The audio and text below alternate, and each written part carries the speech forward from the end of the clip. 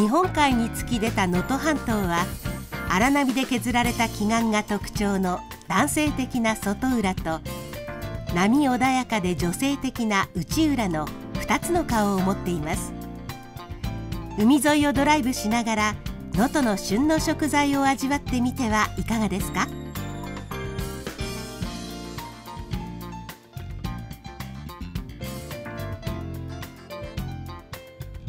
国内で唯一車で走ることができる砂浜千里浜渚ドライブウェイは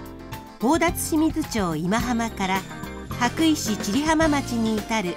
長さおよそ 8km にわたる海岸道路です。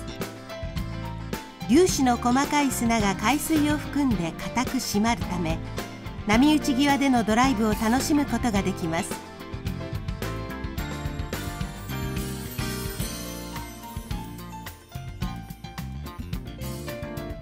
創建から2000年以上の歴史を誇り縁結びの神社として知られている桁大社。最近では女性に人気のパワースポットとしても知られています。日本海の荒波が育んだ景観岩門。浸食によって削られた銅門は幅6メートル高さ15メートル奥行き60メートルもあり景勝地能登金剛の象徴的な景色となっています。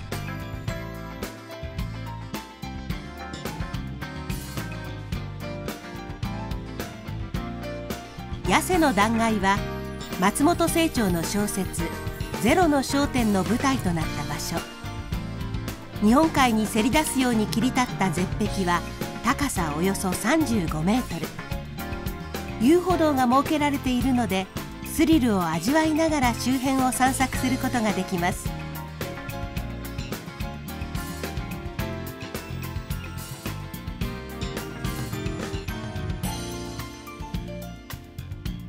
総持寺祖院は禅の精神を伝える能登の名刹。曹洞宗の大本山として1321年に創建されました。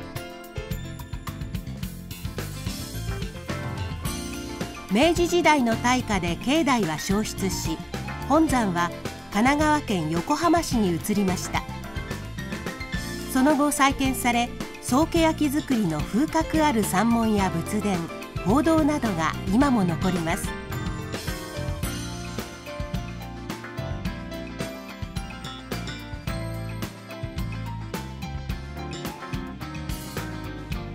能登の夏祭りには欠かせない巨大な灯籠キリコこの施設ではそのキリコを一堂に展示しています。能登の祭りに関する展示もあり能登の人々の風習と歴史を知ることができます。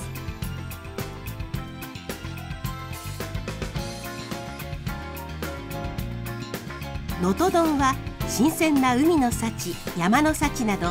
能登の味覚がぎゅっと詰まった丼です。能登産のコシヒカリ器箸でいただきます。奥能登一円の飲食店でさまざまな種類の能登丼を食べることができます。